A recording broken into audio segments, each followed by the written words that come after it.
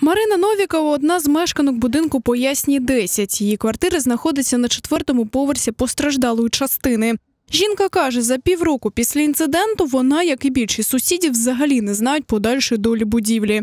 Мешканці ще в серпні направляли кілька звернень до профільних департаментів мерії з проханням дізнатися хоч якусь інформацію, але їм не відповіли. Нарушены все сроки, все возможные и невозможные э, буквы закона, э, никто не ответил. Не говоря о том, что все телефоны, которые нам дали, по которым можно связаться и узнать продвижение дел, они глухо молчат, никто не отвечает. И вообще, я так понимаю, что даже перед выборами никто из администрации не соизволил с нами встретиться. Не царское это дело, знаете.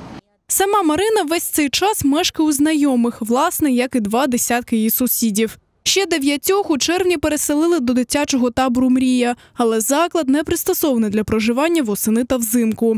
В мерії виправдовуються до початку опалювального сезону точно не знали, чи можуть люди повернутися на ясну. Тепер же отримали технічний висновок, який дозволяє людям вселятися назад, але тільки в ліву частину будівлі, яка вціліла.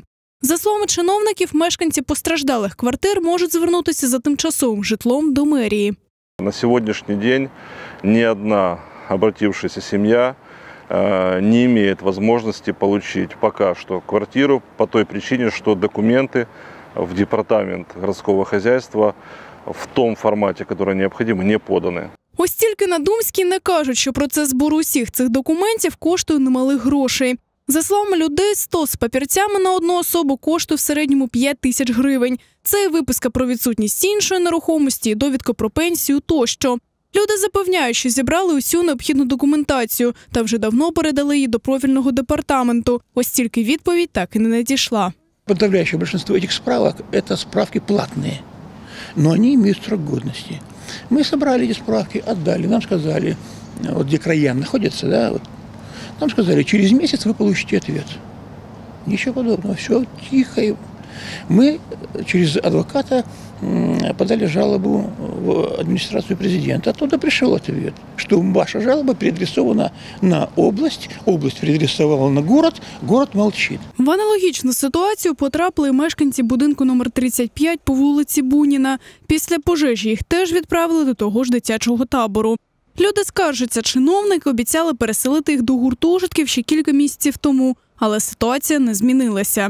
Крім того, питання відновлення або ремонту будинку досі залишається невирішеним. Летом там действительно было хорошо, тепло, можно было жить. Но на данный момент уже осень и очень холодно. У меня старший ребенок заболел.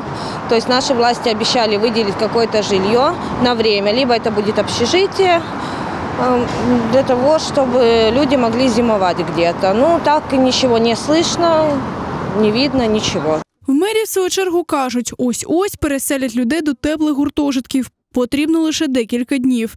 Та обіцяють, що до нового року будинок почнуть ремонтувати. Анастасія Дементьєва, Костянтин Марченко. Підсумки тижня. Перший міський.